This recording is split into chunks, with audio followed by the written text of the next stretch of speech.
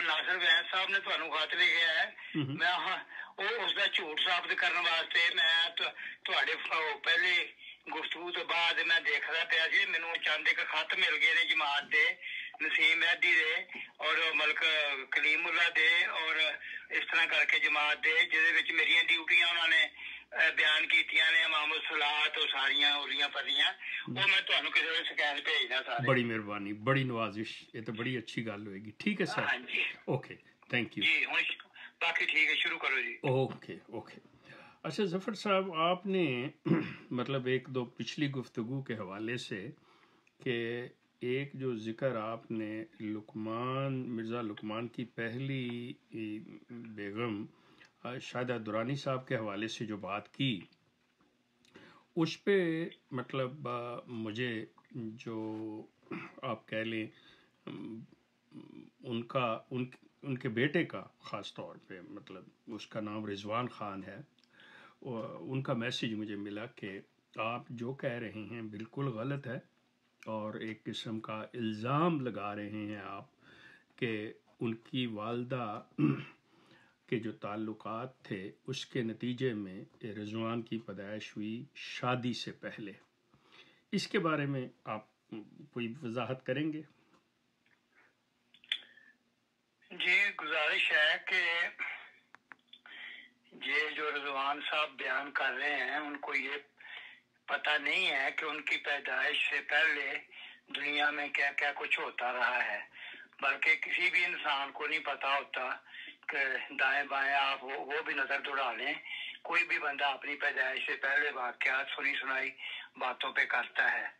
अब बात आती है कि देखें जिस वक्त रिजवान के नाना जान वहाँ खलीफा साल्स के पास गए थे मिर्ज़ा नासिर के पास अब उनको कितनी गवाहियाँ चाहिए कि दफ्तर प्राइवेट सेक्रेटरी के कितने लोग इस बात के गवाह हैं कि खलीफा से मुलाकात करने के लिए पहले उनको कोई आधा घंटा वहाँ वेट करना पड़ता है। अच्छा अब यहाँ पे थोड़ा थो, थोड़ा एक से, एक सेकंड ये आप बात कर रहे हैं जो दफ्तरी मामूलात की लेकिन लेकिन आप ये बताएँ जैसे आपने अभी कहा कि किसी इंसान को क्या पता होता है कि उसके वालदेन उसकी पैदाइश से पहले क्या करते रहे क्या नहीं करते रहे। तो क्या आप मतलब इस ख़ानदान में यानी मिर्ज़ा नासिर अहमद के ख़ानदान में और शाहदा दुरानी साहिबा के खान आप इनके दरमियान मौजूद थे जो आप इतनी यकीनी से ये बात कह रहे हैं? जी मैं यही तो बात कर रहा हूँ कि जब दफातर का अमला जो है दफ्तर का अमला प्राइवेट सेक्रेटरी का वो सारा कुछ इन हालात को देख रहा होता है देख रहा होता है। बा, बाज दफ़ा गुफ्तगु जब ज़्यादा ऊँची हो जाती है तो वो सुन भी लेते हैं अगर वो साथ ना बैठे हों तो। क्योंकि साथ का कमरा होता है प्राइवेट सेक्रेटरी का। हाँ। अगर मैं अगर मैं प्राइवेट सेक्रेटरी के दफ्तर में बैठा हूँ वहाँ पे आठ दस लोग बैठे हैं उस वक्त आठ दस लोग बैठे सारे उनको ये पता है कि वो आए हैं इस काम के लिए है ये गुफ्तगू हो रही है। तो वो सारे इस बात के वो सुन रहे हैं सारी इन बात को। ओके अच्छा मैं मैं आपकी एक सेकंड जी मैं लेके चलता हूँ आपको। इसका मतलब आप ये कह रहे हैं कि रिजवान के नाना की जो बात मिर्ज़ा नासिर साहब से हो रही थी आप दफ्तर प्राइवेट सेक्रेटरी में मौजूद थे और आपके साथ कोई सात आठ लोग और भी थे जिन्होंने मतलब वो बातें सुनी आपने भी सुनी। यही क्या? ओके हाँ अच्छा वो लोग कौन थे? आप जानते होंगे उन लोगों को।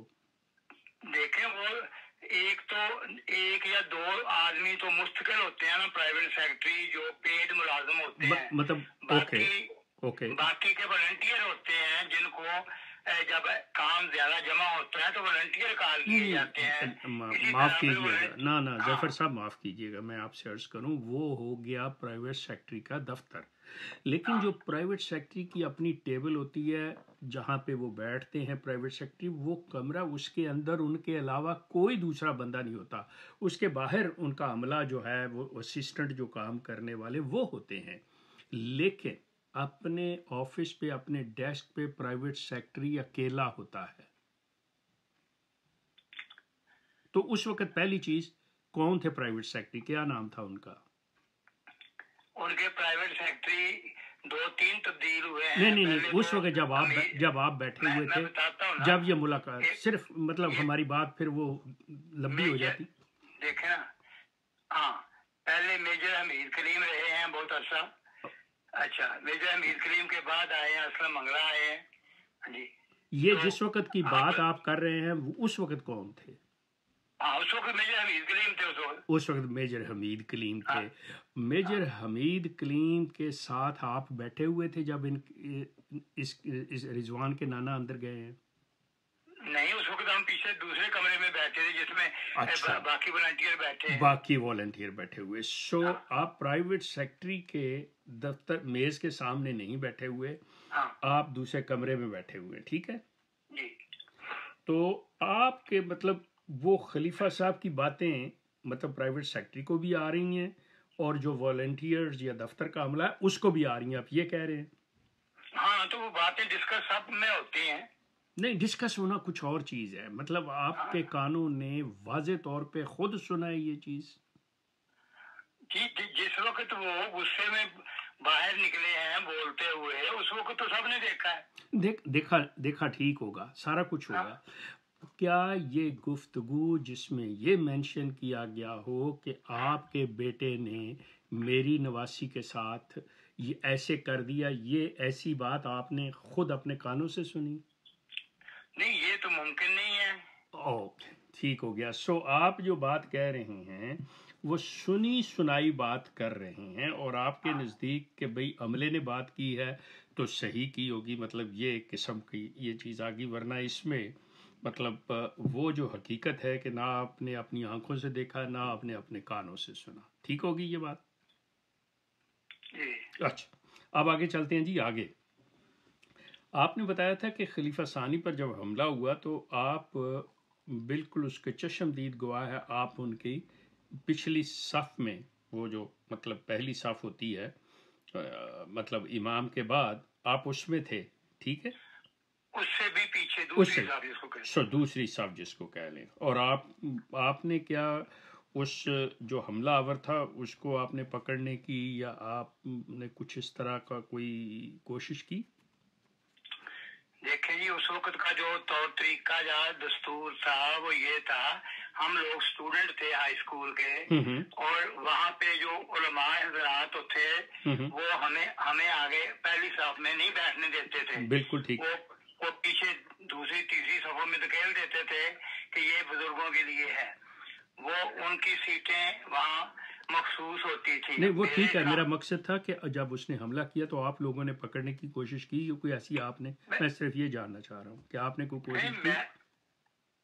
देखे मैं वो बात बता तो रहा हूँ कि भी जब मैं तो सेकंड साफ़ में था मेरे सामने एडी जलंधरी साहब बैठे थे आगे मेरे और उसके आगे खलीफा सानी थे। अब अगर आप पूरी बात सुनना चाहें तभी बात समझ आएगी ना। अब तो यार बीच में अगर एक एक वो लफ्ज के क्वेश्चन होंगे तो वो तो अजीब सी बात लगेगी। आ, मैं माजरत चाहता हूँ ज़फ़र साहब अगर आपको मेरी बात बुरी लगी मैं सिर्फ़ ये अर्ज़ करना चाह रहा हूँ क्योंकि हम हाँ। इससे आगे बढ़ना है क्योंकि वो काफ़ी लंबी डिटेल में मैं नहीं जा रहा मैं सिर्फ़ ये अर्ज़ करना चाह रहा था कि भाई जब उन पे हमला हुआ तो क्या आपने भी हमलावर को पकड़ने की कोशिश की? आप दूर थे या नज़दीक थे? मतलब आप नहीं। आपने किया तो नहीं। और किया तो आपने किया बस सिर्फ़ ये जानने की बात है और नहीं कुछ भी। नहीं वो मैं मैंने क्यों करना था? ओके। कोशिश करनी थी हम तो छोटे थे okay thank you so much thank you बिल्कुल ठीक है। अच्छा अब आते हैं भुट्टो के इलेक्शन में जो सेवेंटी में। भुट्टो के इलेक्शन के अंदर आपने जो कहा कि भाई ये सारा सिलसिला किया तो आपका उसमें कोई ख़ास किरदार था अब वो तो एक डिटेल में बात जाएगी अगर आपको वो नापसंद है तो नहीं वो नहीं मुझे डिटेल ना नहीं नापसंद कोई बात नहीं आप बताएँ हाँ। आप बताएँ जी बताएँ।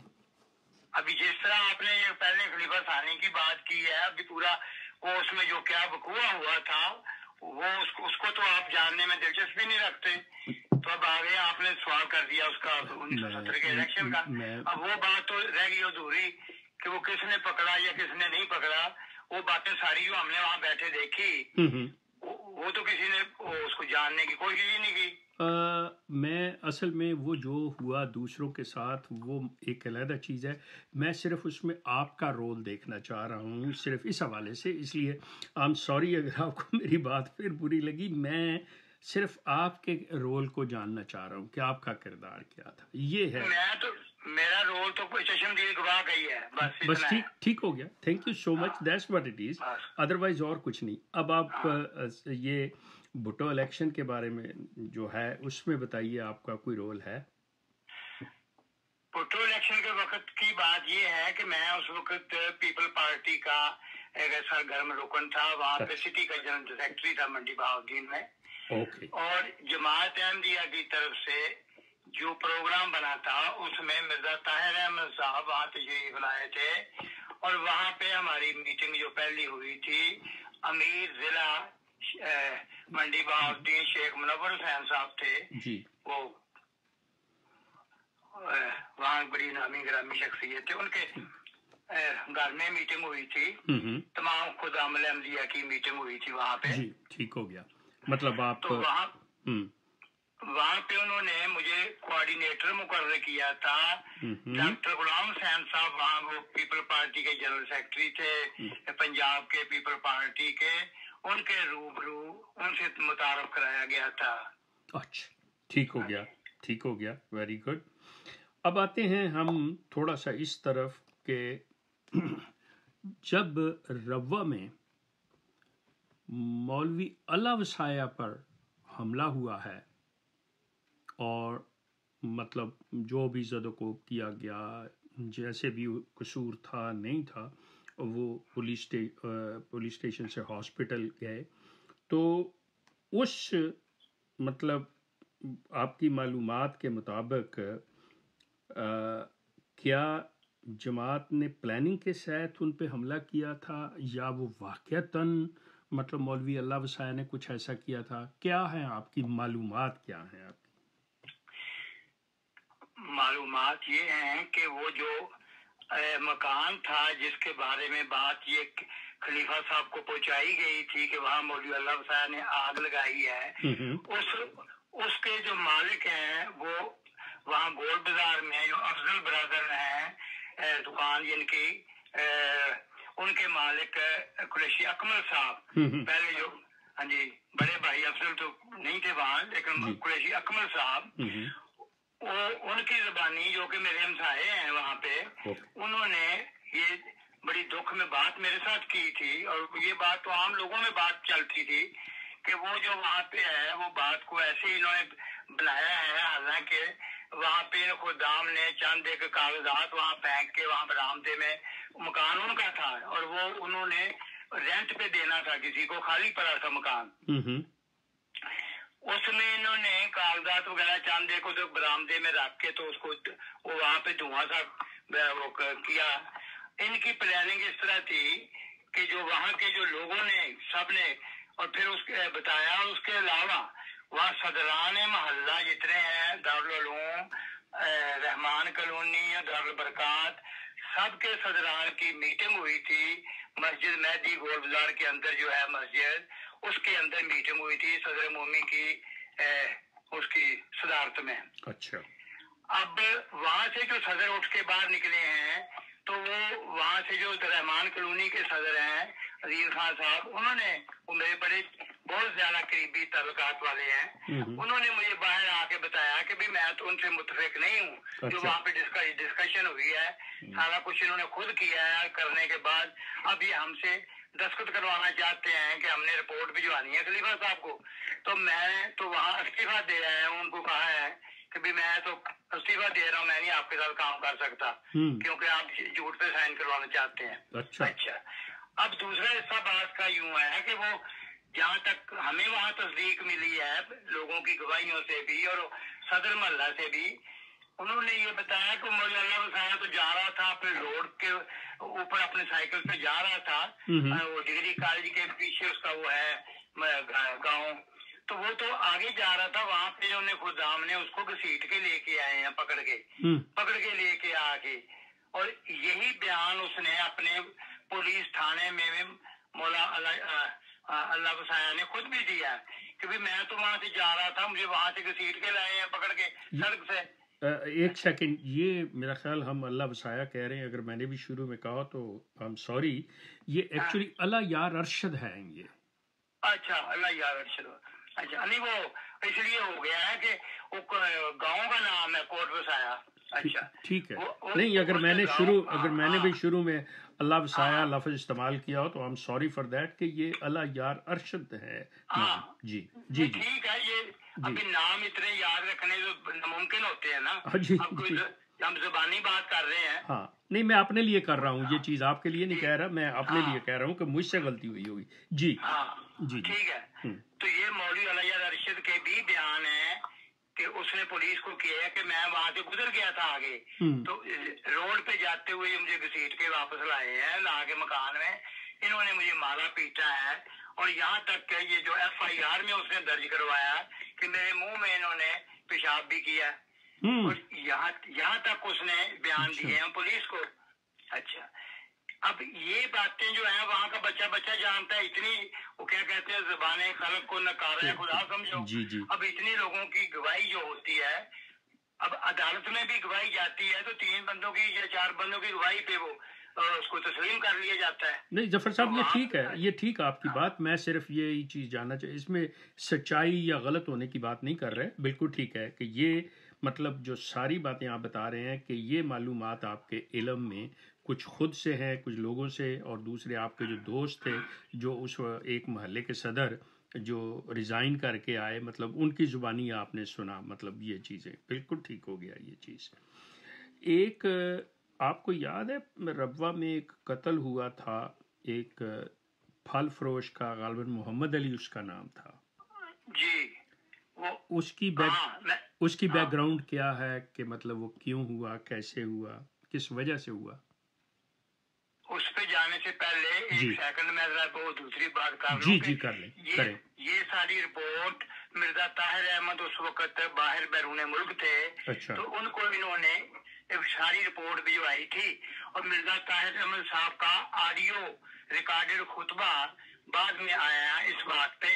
और उसके बाद दूसरा खुतबा फिर उन्होंने दिया जिसमें उन्होंने बयान किया कि मुझे ये सारी गलत रिपोर्ट भिजवाई गई है अच्छा। इन मौलवियों की तरफ़ से। हाँ अच्छा। दो ऑडियो ऑडियो उनकी रिकॉर्डिंग हमने वहाँ मस्जिद बलाल में बैठ के सुनी है दोनों ऑडियो हम्म, वहाँ पे जो रेलवे स्टेशन के साथ मस्जिद है वहाँ पे सुनाई गई है दोनों ही। अच्छा। कि पहली भी सुनाई गई है कि गलत रिपोर्ट मुझे दी गई है जबकि यूँ ये वाक्य ऐसे नहीं हुआ। और दूसरी उसके बाद फिर उन्होंने वो इंक्वायरी दूसरी करवाई थी। हम्म हम्म। ठीक हो ठीक। ये मुर्जा ताहिर अहमद के खुतबात मौजूद है। Okay. Thank you so much ये तो बड़ी अच्छी बात हो गई। अच्छा अब मोहम्मद अली के बारे में ये कोई ऐसा मर्डर हुआ था कत्ल हुआ था?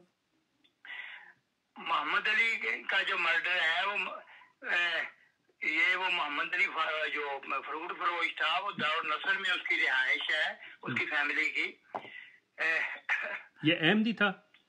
हाँ अहमदी है अहमदी अच्छा। खान अच्छे वाले वो गरीब सी फैमिली है बड़ी मुखलस अहमदी है। अच्छा।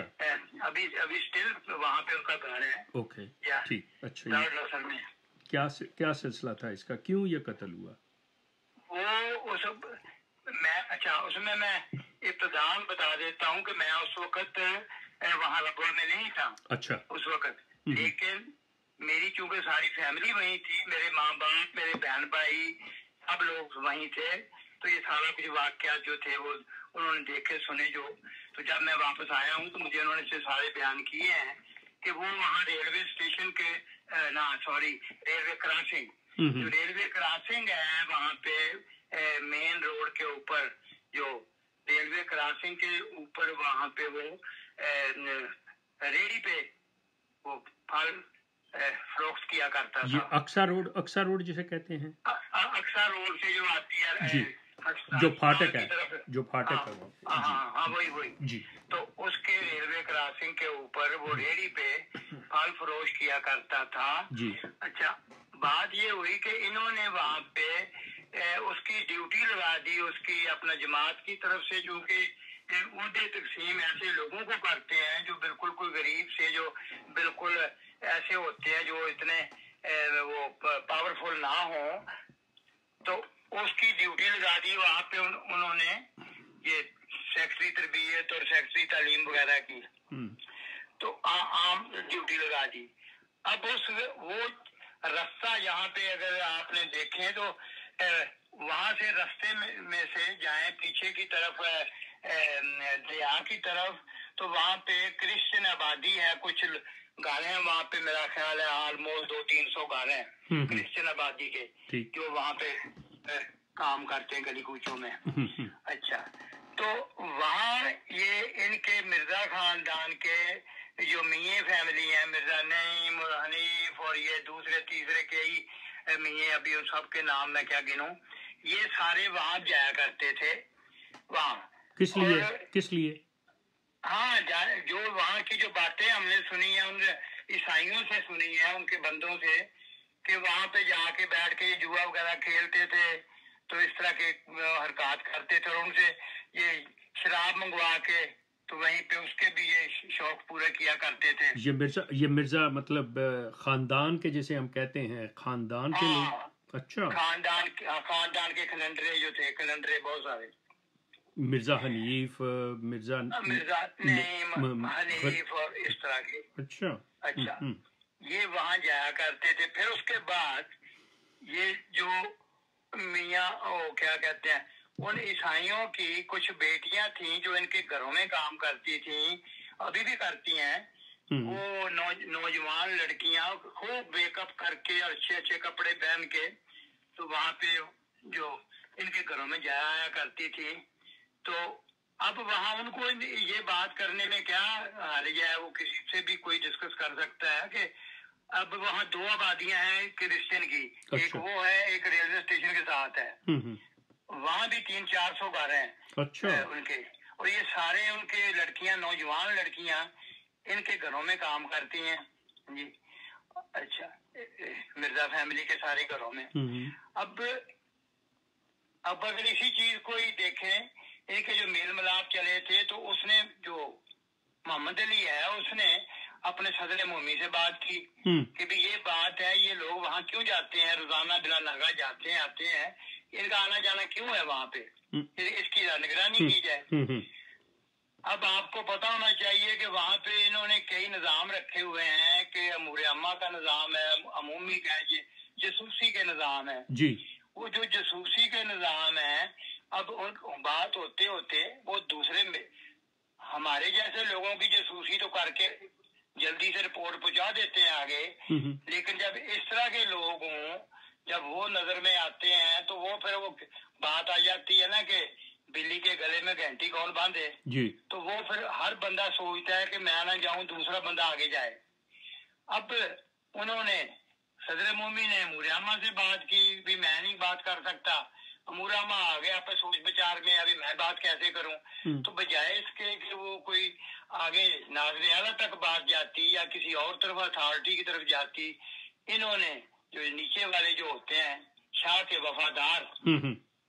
जो जसूसी निज़ाम को चलाते हैं जी इन्होंने मिल मिला के तो ये प्लानिंग की वो उनके साथ वो जो जाया करते थे मियाँ खानदान के लोग जो जाया करते थे वहाँ उनके कानून तक बात पहुँच गई कि भी ये हमारे बारे में रिपोर्टें पहुँच रही हैं और इस तरह की ए, हमारी भी वो हो रही है जसूसी हाँ, वगैरह हाँ।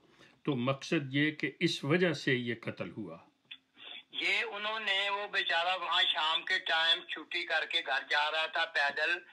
रेलवे ला, रेलवे लाइन के साथ साथ उसका सफ़र था।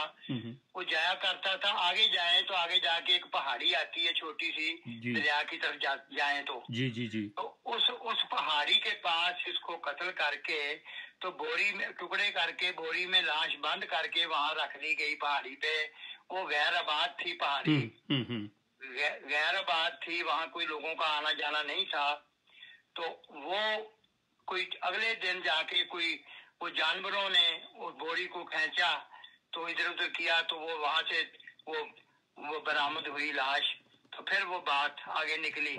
तो उसकी एफ़ आई आर जब कराई गई तो इन्होंने प्रेशर कर डाल के थाने पे तो वहाँ पे उसको एफ़ आई आर में बहुत सारी कमजोरियाँ शामिल कर दी। हम्म। और उसके बाद बाकी जो वहाँ के थाने को जो रिश्वतें दी गई वो एक दूसरी कहानी है। और रिश्वतें दे के केस को वहाँ पे वो चलने नहीं दिया गया। तो बेचारे रोते रहे उनकी बीवी बच्चे कि देखे इन्होंने ये हमारे पे जुर्म किया है तो मैंने वो इसलिए बात की है कि हमारे जो सोर्सेज हैं उनकी मैं बात की है। सोर्सेज ये हैं कि वो अभी भी इस वक्त भी मेरी सिस्टर की और उनकी दीवार मुश्तरका है। अच्छा। घर घर साथ साथ है। कौन से मोहल्ले में? कौन से मोहल्ले में? दारुल में। दारुनसर में। ठीक हो गया। यहाँ पे खलीफा सालिस के ससुराल है उस महल्ले में। ये कौन से वाले ससुराल? खलीफा सालिस के खलीफा मिर्ज़ा नासिर के ये वाले ससुराल जो बाद वाले। आपत आपताहरा वाले? हाँ जी डॉक्टर तहरा वाले। हम्म हम्म। उन, उनके सामने घर है वे। अच्छा। ठीक मोहम्मद अली का मोहम्मद अली का घर अच्छा। अच्छा अब ये मतलब वही मिर्ज़ा नासिर अहमद की बात शुरू हुई।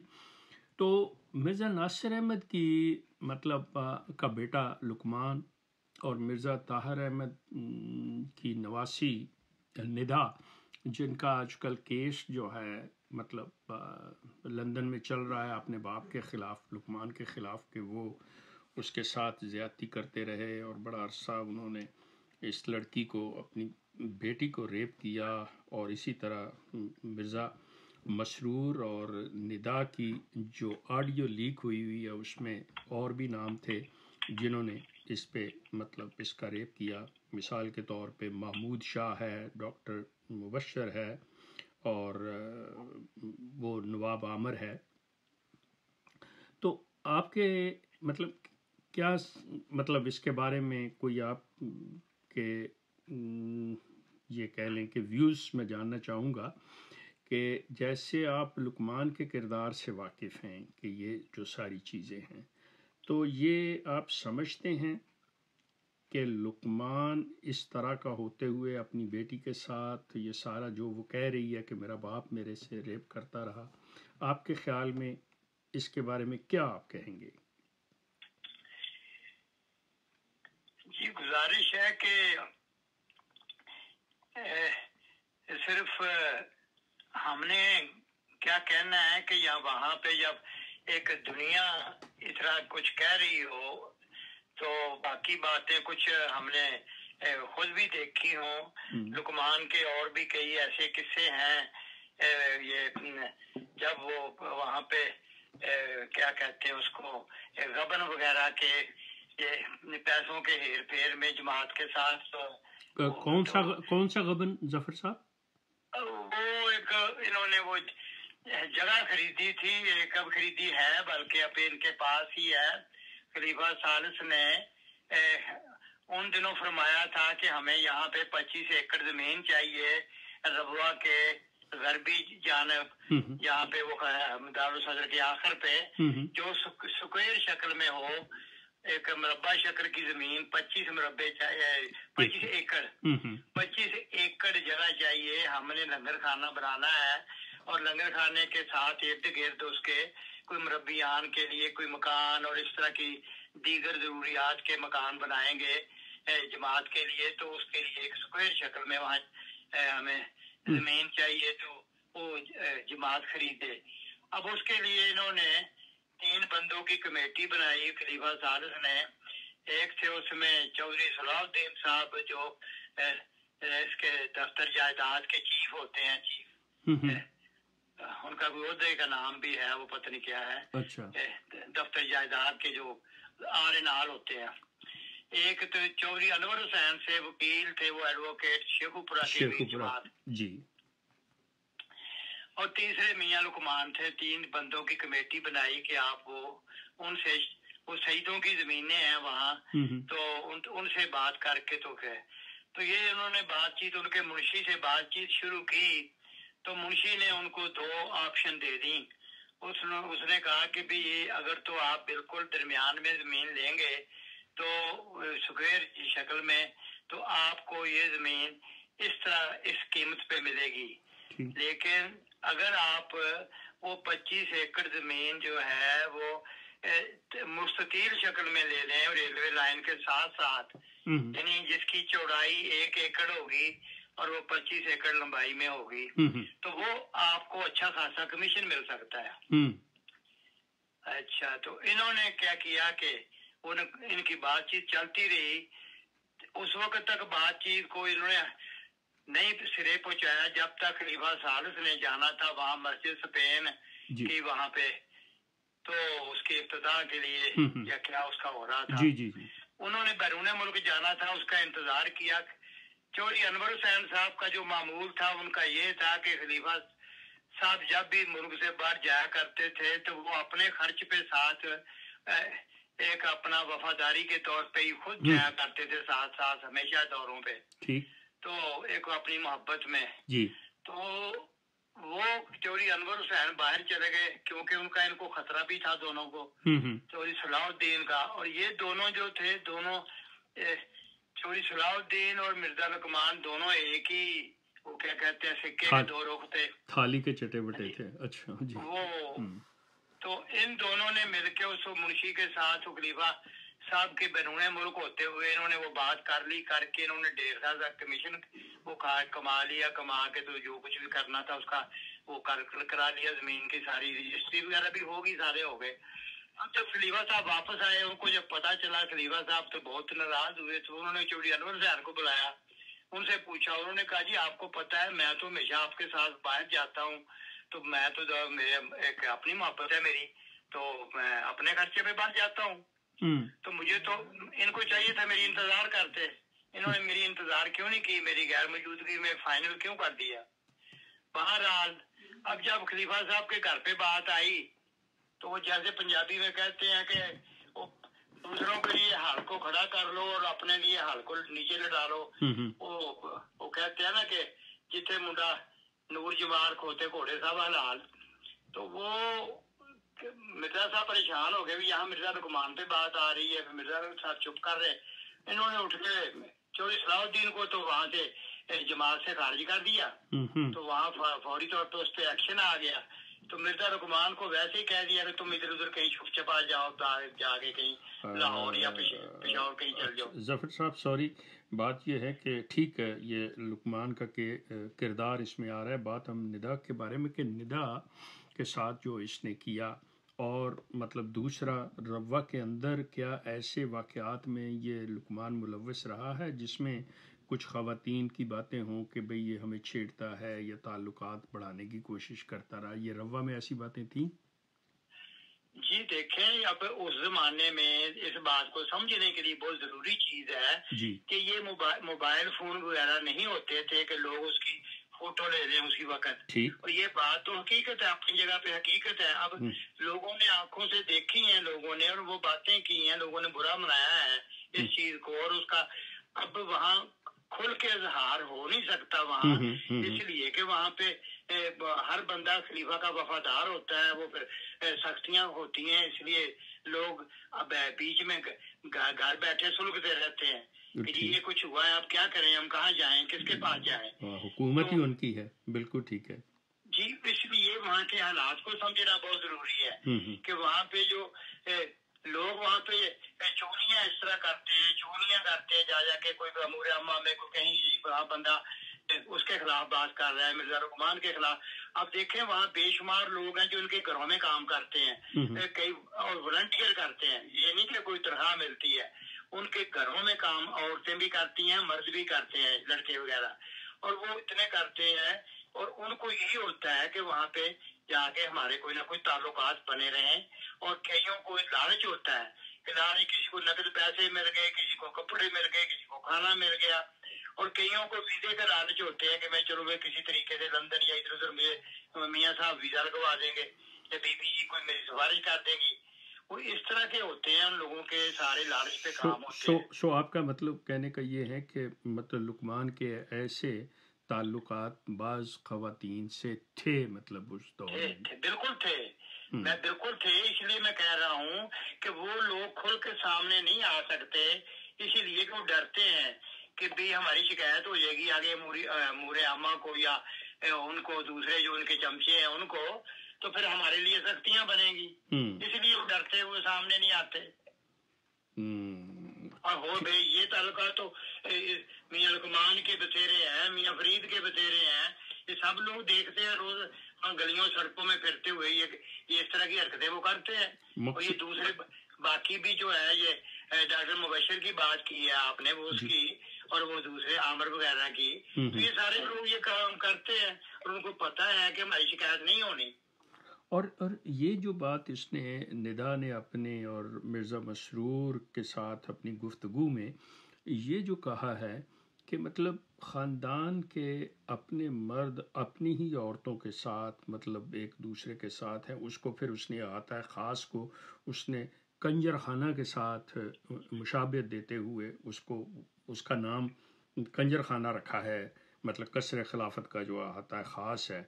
तो इसका मतलब ये है कि सिर्फ़ बंदे ही नहीं, इनकी औरतें भी आपस में एक दूसरे के साथ ऐसे ताल्लुकात रखे हुए हैं। आपके ख्याल में वो ठीक कह रही हैं? ये बिल्कुल दुरुस्त कह रही है, वो सौ फ़ीसदी दुरुस्त कर रही है। कह रही है क्योंकि मैंने पहले भी ज़िक्र किया है इशारतन आपको कि इनके मिये जो वहाँ जाते हैं ईसाई वो क्रिश्चियन आबादी में हम्म। वो जो है उस आबादी में जाना और लड़कियों का मेकअप करना और सारा कुछ उनको नए नए कपड़े पहन के वो मियों के साथ बैठ के सारी रात रात भर शराबे पीनी उसका वो क्या कहाँ तक वो उसकी कोई हदबंदी है हम्म। अब मिये जितने मिये हैं वो वहाँ जाते हैं तो फिर वो जो घर में औरतें बैठी हैं उनकी अकेली बैठी हैं उन्होंने भी तो किसी तरफ़ जाना है कि नहीं हम्म। और फिर उसके बाद एक और बात है कि वहाँ के जो ये जो क्या कहते हैं उसको ये जो दुकानें होती हैं टीवी और रेडियो वगैरह की यहाँ पे उनके ड्रामे और फ़िल्में वगैरह हम्म। कैसेट जो वो कैसेट सप्लाई करते हैं। उनके साथ उनके जो रबते होते हैं बीबियों के रबते होते हैं अब उनकी भी ए, एक सेकंड जी। वो भी नहीं एक सेकंड एक सेकंड जरा एक सेकंड है। जी। जी। हम्म। वो मैं यही बात बताई थी कि वहाँ की जो दुकानें हैं ना ये इलेक्ट्रॉनिक्स की दुकानें हैं ये उन्होंने बेशुमार कैसेट्स रखी हुई हैं इसकी मेरा ख्याल मैं तो मेरा ख्याल मैं तो एक कोई जानता हूँ जो गोल बाज़ार में होता था अहमदिया मॉडर्न स्टोर मतलब बस मेरा तो उसी से वाकफियत और, और मैं किसी को नहीं मुझे नहीं पता। वो वहाँ पे तो वो वहाँ तो वो तो बिल्कुल छोटी सी मुख्तर सी दुकान है अच्छा। साहब नाम है उनका। हाँ तो एम मार्ट जी जी जी तो वो मुख्तर सी है। असल दुकान बड़ी जाके इधर वो खुदामल अहमदिया के जो मरकजिया दफ्तर है उसके सामने शादी शालीमार टीवी है। अच्छा। उसके ये बहुत बड़ी दुकान है जिसपे बेशुमार कलेक्शन है इसकी ड्रामे और वो फ़िल्में वगैरह। और उसके हम्म, हम्म। अलावा उसके अलावा आगे अक्सर रोड पे जाए वहाँ पे अभी दो तीन नई बनी है हाँ जी दुकानें बहुत है वहाँ चार पाँच दुकानें तो मेरे इलम में है वहाँ बड़ी बहुत बड़ी बड़ी दुकानें और ये जो इन दुकानों पे वो बीबियों का आना जाना हम्म। बीबियों का और उनको घरों में बुलाना घरों में बुलाना लड़कों को हम्म। कि भी आज फलां फलां ड्रामे वो लेके हमें घर में दे जाए हाँ जी तो वो ड्रामे दे के देने जाना आना ये सारे जो कृषि है ये तो हम देखते हैं रोज़ाना देखते रहे वहाँ। वो तो उनके लिए बायस सादत है ना जी के खिदमत करनी एक ऐसे ख़ानदान की और फिर जो उन्होंने अगर कह दिया है कि भाई ये चीज़ हमारे लिए लेके आओ तो दो खुदाम तो बड़े मतलब अपने आप को खुश नसीब समझते होंगे ना इन चीज़ों के बारे में। जी लोग वहाँ फ्री सर्विस करने कोई सादत समझते हैं। अब वहाँ जो उनके घरों में खिदमत के लिए जाते हैं जी मैं आपके घर के काम कर दूँ औरतें बेशुमार जाती हैं मर्द जाते हैं तो इस तरह करके वो लोग जाते हैं वहाँ की खबरें लेके आते हैं। अब उनको तो ये होता है कि हमें फ्री सर्विस मिल रही है। लेकिन वो हाँ, जी जी हाँ, जी जी कहें। लेकिन वो लोग जो ये नहीं जानते कि ये लोग बाहर जाके भी बातें करेंगे।